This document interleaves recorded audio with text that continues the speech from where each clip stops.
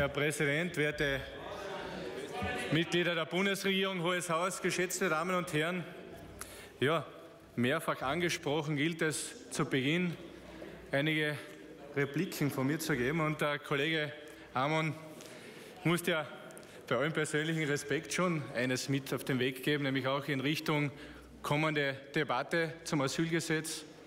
Wir haben derzeit alle rechtlichen Möglichkeiten, um jeden Fremden an der österreichischen Staatsgrenze zurückzuweisen, der kein Recht hat, hier nach Österreich zu kommen. Nur die Instrumente, die uns bisher gegeben sind, ja, geltendes Recht, national wie international, wurden von eurer SPÖ-ÖVP-Regierung nicht zur Anwendung gebracht.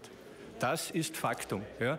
An dem kommen wir nicht vorüber und deswegen auch unsere klare Meinung zu diesem Placebo-Asylgesetz, das nichts anderes sein wird, wenn wir es heute auch debattieren im Detail, als ein Flickwerk des Asylrechts, das halbjährlich aufs Neue auf die österreichische Bevölkerung losgelassen wird, schlussendlich aber dazu führt, dass alle Regeln, die gegeben sind, niemals durch euch zur Anwendung gebracht wurden. Ja?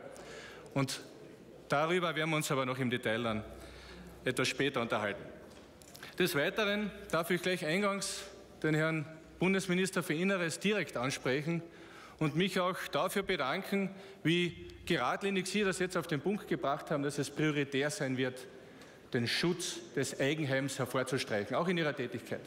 Das verstehe ich aber auch in der Form, und wir nehmen Sie dabei beim Wort, dass es keine Verschärfung des österreichischen Waffenrechts geben wird, Herr Bundesminister.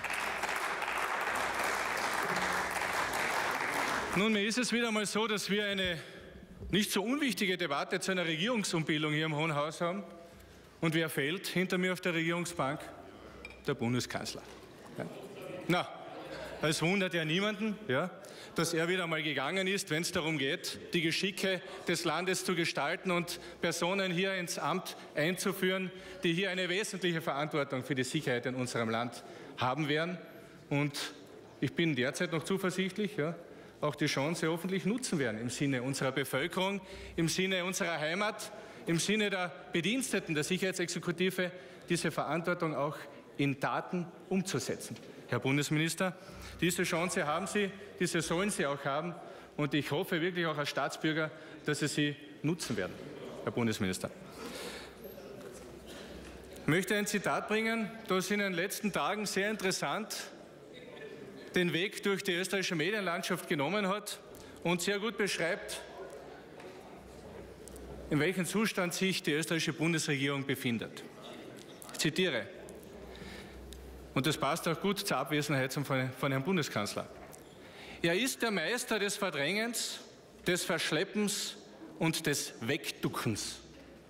Und Sie alle wissen, dass von Herrn Bundeskanzler Feimann hier die Rede war, als der niederösterreichische Landeshauptmann Erwin Bröll seine Definition von Herrn Bundeskanzler und dessen Amtsverständnis gebracht hat. Ich glaube, eine sehr richtige Definition und es ist normalerweise nicht meine Art in Abwesenheit, ja, sehr kritische Worte über Personen zu finden, aber wenn er gegangen ist, kann ich nichts machen, dann werde ich es ihm halt hier bei den Rennerpult, äh, über das Rennerpult auch ausrichten. Sie, Herr Bundeskanzler Feimann, sind in Wahrheit das eigentliche Problem dieser österreichischen Bundesregierung. Und ich weiß nicht, ob Sie es getan haben. Sie hätten es auch in den letzten Tagen tun können. Hätten Sie in die Augen Ihrer Genossen gesehen, die hier auch im Hohen Haus sitzen, hätten Sie genau das auch erkannt, Herr Bundeskanzler. Denn ich glaube, viele der Genossen hier im Hohen Haus sehen das gleich, dass sie das eigentliche Problem in dieser Regierung sind und deswegen hier ein Stillstand in Österreich seit Jahren gelebt wird und die eigene Bevölkerung dabei auf der Strecke bleibt. Die Ruhe aus dem SPÖ-Bereich bestätigt mich hier in einer gewissen Art und Weise. Dass durch die realitätsferne Willkommensunkultur der, die österreichische Bevölkerung sich heute wohl eher gewünscht hätte, eine Regierungsumbildung in der Art, dass Herr Bundeskanzler Feimann seinen Rücktritt erklärt, ist damit selbstredend. Ja? Und in dieser Erklärung, die er heute von sich gegeben hat, hätte er sich auch gleichzeitig dafür entschuldigen können, welche politische Fehlleistungen er in den letzten Jahren getätigt hat, angefangen von A wie Arbeitslosigkeit bis hin zu Z wie Zuwanderung.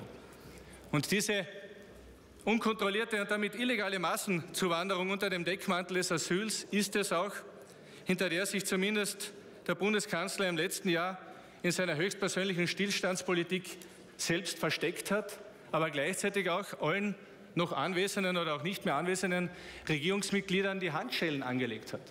Es wäre auch gleichzeitig an Ihnen gewesen, werte Damen und Herren der Regierung, sich von diesen Handschellen selbst zu befreien und aktiv zu werden.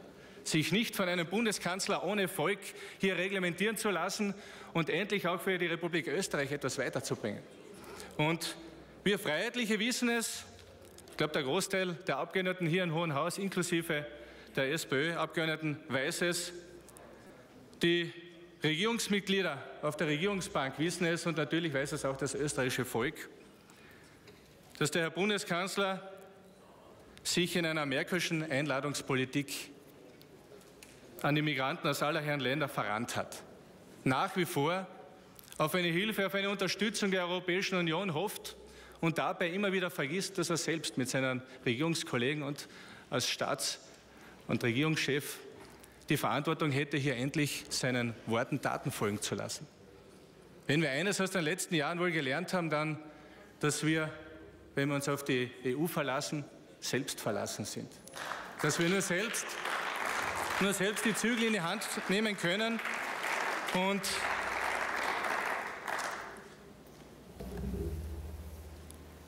Und eines natürlich uns vor Augen führen müssen, dass es auch dieser Bundeskanzler war, der seine Regierung dazu angehalten hat, mittlerweile rund eine Million Menschen nach Österreich zu bringen, unkontrolliert, unregistriert. Wenn sie hier waren, zum Großteil durch Österreich durchzuschleppen und das rechtswidrig. Ja, dass mit dieser eine Million Migranten Terroristen und Schwerstverbrecher den Weg nach Österreich gefunden haben wie wir tagtäglich, wir, ja, tagtäglich aus den Medien entnehmen können, die Opfer mittlerweile tagtäglich am eigenen Leib verspüren müssen.